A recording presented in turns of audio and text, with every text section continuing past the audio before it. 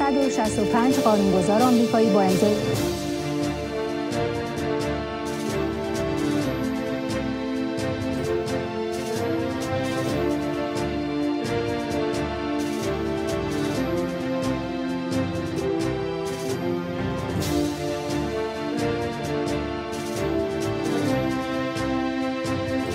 از اغتشاشات اخیر در ایران است.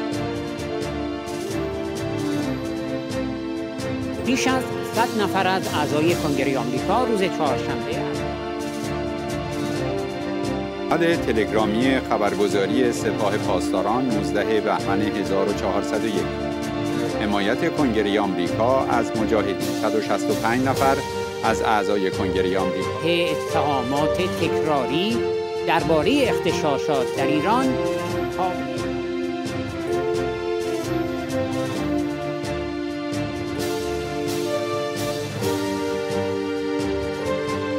حمایت 165 نماینده آمریکا از طرح منافقه